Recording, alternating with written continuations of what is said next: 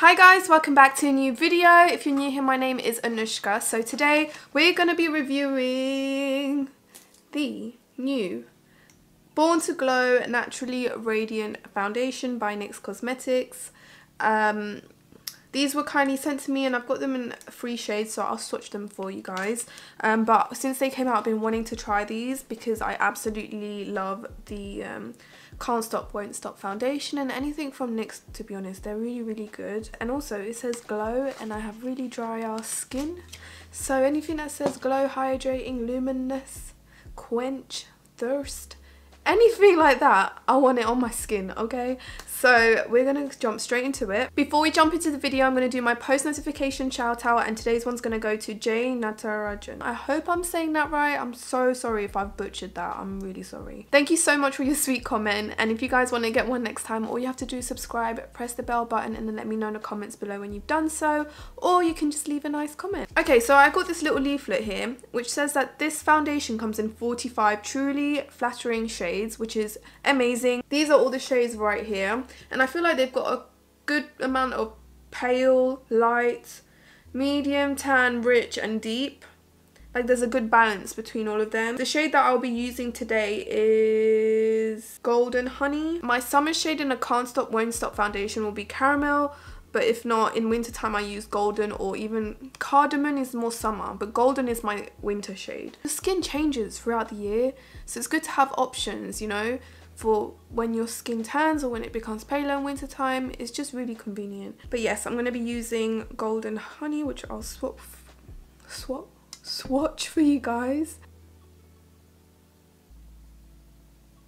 I think that's a really nice match for my skin. This is a beige, which it's actually very olivey yellow, but on my skin looks really pale, but I actually might give this to my friend because I feel like this will match her. Might do, yeah. And then we have golden, which is slightly lighter, a bit more neutral as well. Those are the three shades I got. I'm just using some of my Fenty um, Hydrating Primer. I love this stuff. I prefer it more to the original. Just better for my skin. Now it is like really, it's not like thick, it's quite smooth. It doesn't like droop, uh, like drip. So it's not that liquidy, but it's not really thick either.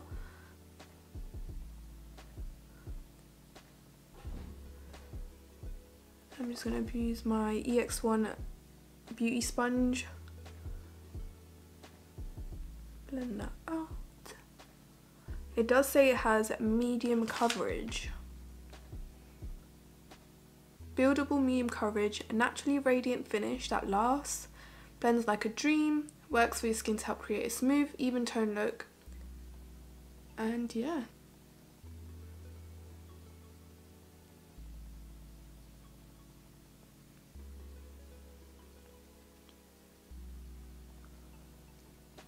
So I really like these medium coverage foundation. They just um, sit on my skin better and if it says hydrating it's even better because my skin is so dry but like that just blended so nicely and I feel like the match is on point. I'm just to put a bit more around my mouth.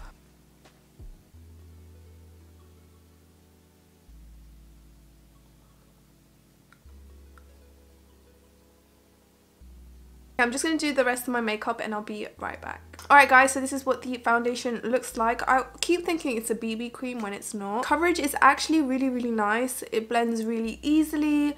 Um, definitely medium coverage. I can still see some of my pigmentation showing through, um, but it can be buildable because it did help um, on my second application to just like cover it a bit more. Everything blends so easily on it. It doesn't accentuate any of my texture because I've got a lot of bumps lately. Um, it's just a really, really nice foundation so far. I'm really, really liking it. Do I see myself using this? Definitely, especially going to work every day. Um, and it just feels really lightweight and hydrating. I don't feel like my skin is crying for water, you know? And it hasn't gone flaky anywhere at all as well. So I'm to wear this for a few hours. We're to see how it sits. And yeah, what time is it? it is currently 11 a.m. So I'll be back later on and we'll see how it looks. Okay, so it's now 18.57 p.m. It's been over six hours. To be honest, I, my makeup has held up pretty well. And I don't know, because I went out, I don't know if it's because of this Urban Decay All Night Setting Spray. It's so, so good.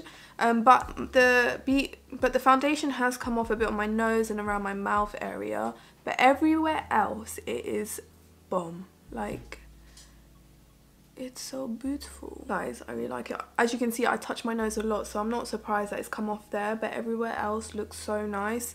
Um i don't even look that maybe a little bit shiny on my forehead. I'm really really happy with this foundation. It's so nice. I feel like any skin types can wear it as well because i'm not super oily. It's not like super greasy. It's just hydrating. Um, and you can definitely set it with powder I'm really happy that I don't have major smile lines either. But yeah, uh, the application, the coverage, I just love this. This is so my type of product at the moment. It's not like full, full coverage, but I'm okay with that. Uh, it feels more like a BB cream to be honest, but with a bit more coverage. I just see myself using this a lot and repurchasing it for sure because it just looks so nice on my skin. Oh, also, it's for £10. You can get on Boots that's so affordable like i would definitely repurchase this it's so nice so if you have dry skin I definitely recommend this for you. It's so nice. It made my skin look beautiful. I'm going to rate this a good... I'm going to give it 10 out of 10, man. Shade range is on point. The formula is amazing. You get 30ml for £10. Easy to blend. Coverage is really good for like a glowy foundation, but it's not like greasy. Um, it comes in a tube. I mean, actually, maybe let me give it 9.5 because it's plastic. I'm trying to hold back on plastic stuff now but it comes in a plastic tube. I mean the bottle could be a bit more convenient because I just see myself dropping this a lot.